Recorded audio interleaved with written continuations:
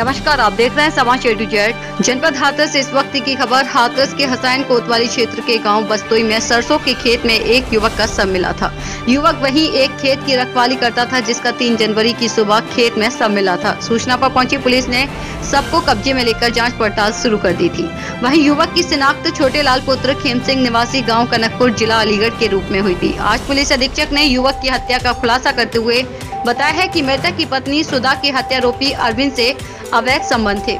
Arvind Uttarakhand roadways में driver था जो लॉकडाउन के कारण अभी अपने गाँव में ही रह रहा था। मृतक को उसके अपनी पत्नी से अवैध संबंधों की जानकारी हो गई थी। तब पत्नी द्वारा अपने प्रेमी अरविंद से अपने पति को रास्ते से हटाने के लिए कहा गया। तब योजना बनाकर मृतक की पत्नी के प्रेमी अरविंद ने अपने साथी दलबीर के साथ जहाँ मृतक खेत की रखवाली करता था वहाँ देर रात पहुंचकर उसकी गमछे से गला घोटकर हत्या कर दी। पुलिस अधीक्षक ने बताया है कि मृतक की पत्नी सुधा उसके प्रेमी अरविंद और हत्या में साथ देने वाले आरोपी दलबीर को गिरफ़्तार कर जेल भेज दिया है। समाचार एडीजेट के लिए हाथरस से हबीब खान की रिपोर्ट।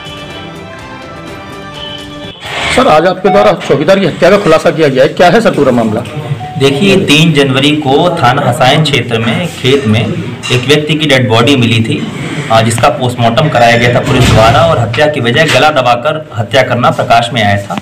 इसके संबंध में जो मृतक है, उनके परिजनों द्वारा थाना हसायन पर शक के आधार पर एक नामजद तहरीर दी गई थी, जिसमें हत्या का मुकदमा पुलिस द्वारा पंजीकृत किया गया था।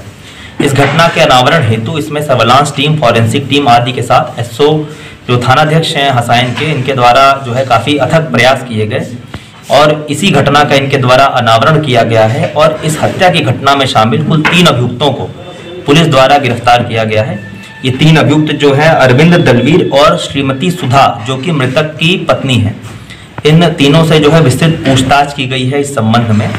और जो इसमें हत्या अभियुक्त है, मुख्य अरविंद, इसके द्वारा बताया गया कि जो मृतक है, उसकी पत्नी से कई सालों से इसके संबंध थे। जिसके बारे में मृतक को भी जानकारी हो गई थी और वो इसका विरोध करता था। और जो मृतक की पत्नी है, उसके द्वारा भी कई बार इसको उकसाया गया, जो हत्याभियुक्त है अरविंद, कि इसको रास्ते से हटा दो, ये मुझे काफ़ी तंग करता है और फिर हम साथ रह लेंगे।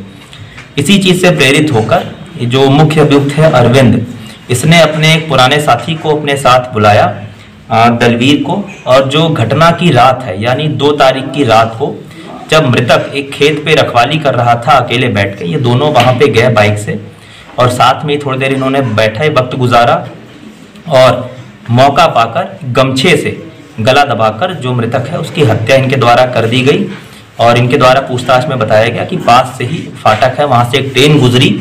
उसी की आवाज़ में, ताकि इसका जो आवाज़ है वो सामने ना आए, इनके द्वारा उसका फ़ायदा उठा के इसकी हत्या कर दी गई और ये मौके से भाग गए वहाँ से। तो हत्यारोपी क्या काम करता था और कहाँ काम करता था? इसमें अवैध संबंधों का भी कुछ देखिए जो इसमें मुख्य हत्यारोपी है अरविंद ये इसके द्वारा बताया गया कि घर जो है बस डिपो में ये ड्राइवरी का काम करता था और लॉकडाउन के बाद ये अपने गाँव वापस आया था। और जो इसका साथी है जिसने इसका साथ दिया ये पूर्व में इसके साथ कंडक्टरी इसने की है। इसी अरविंद के जो संबंध इसने बताए हैं कि मृतक की पत्नी के साथ काफ़ी लंबे समय से चल रहे थे। देखिए जिस मोटरसाइकिल से ये गए थे घटना को कारित करने वो मोटरसाइकिल इनके पास से बरामद हुई है तथा इनके मोबाइल फ़ोन इनके पास से मिले इनके द्वारा घटना को इसकी पत्नी की सहमति पर अंजाम दिया गया? जी बिल्कुल इनकी पत्नी भी इसमें एक सौ बीस बी की मुलजिम है जिनके द्वारा इस चीज़ के लिए प्रेरित किया गया था और उसकी पूरी नॉलेज में था ये।